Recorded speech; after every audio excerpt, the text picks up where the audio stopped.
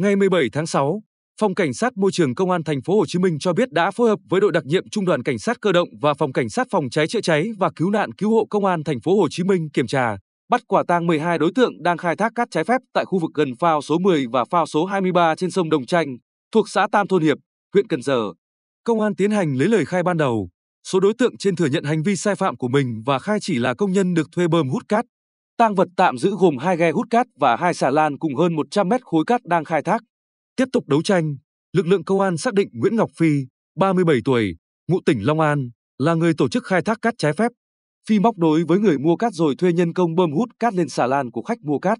Hàng ngày, hai ghe hút cát hoạt động từ 22 giờ đến 3 giờ sáng hôm sau. Tính từ tháng 1 năm 2022 đến nay, Phi đã khai thác và bán hàng nghìn mét khối cát. Điều đáng nói là Phi vừa bị Ủy ban nhân dân huyện Cần Giờ xử phạt vi phạm hành chính hành vi khai thác cát trái phép ở huyện Cần Giờ vào tháng 3 năm 2022, nay lại tiếp tục vi phạm. Hiện phòng cảnh sát môi trường đang củng cố hồ sơ tài liệu, mở rộng đấu tranh làm rõ toàn bộ hành vi vi phạm để xử lý nghiêm theo quy định.